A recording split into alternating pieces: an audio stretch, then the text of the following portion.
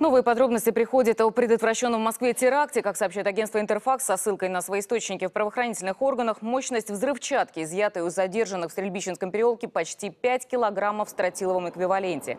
При этом самодельное устройство по составу оказалось похоже на те, которые в субботу сдетонировали в Анкаре, убив почти 100 человек. Еще деталь, которую узнали журналисты. Бомбу в российской столице собирались привести в действие дистанционно с помощью мобильного телефона. Вся эта информация пока официально не подтверждена.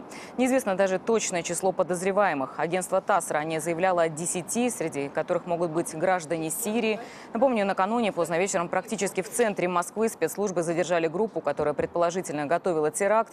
Бандитов заблокировали в квартире многоэтажного дома. При задержании у них обнаружили и готовые устройства, и компоненты для новых.